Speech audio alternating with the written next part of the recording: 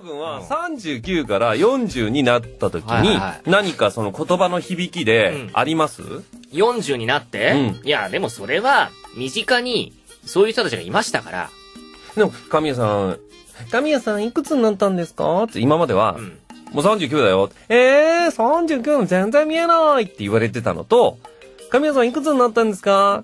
あ、もう40です。40ですか。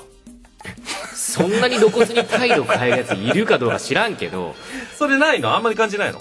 ええあんまりないかなまあ、あと、僕が30になった時に、うんちょうど、小野坂さん40だったでしょ、うん。で、知ってるから、それを。あああ、ああいう40歳だったんだ。って。ー。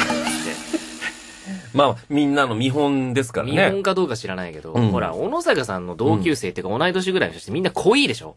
うん。もそうめちゃくちゃじゃない？めちゃくちゃでもないけどねほ。ら、藤原刑事とかさ、藤原さんとかね。成健さんとかさ、あ同い年ぐらいでしょ？どうせ。そうですね。カッペイさんとか。かそうですね。でしょ？カップちょっと下か？同じ年か。多分ね、それぐらいだと思いますよ。カップ草尾さんとかは。でもう、ん。おちゃんとしたお父さんだもんね。まあね。あれ騙されちゃダメだよ。でもバカだけどね。バカはバカ。俺よりも完全にバカだけど、うん、たまに大丈夫かなと思う時ある。しっかりお父さんだからね。うん多分ちゃんとしてるよ奥さんはちゃんとしてらっしゃるんでしょう、きっと。うんかうな、ん。今年の5月で50カップ君。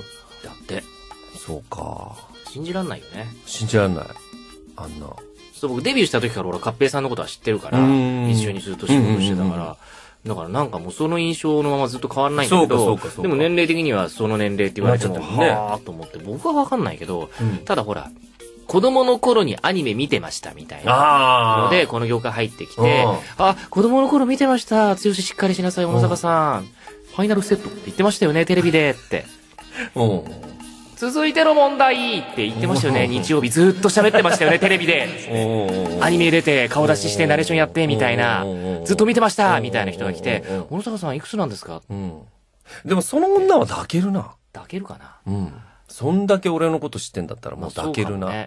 っていうか、それ俺だからね。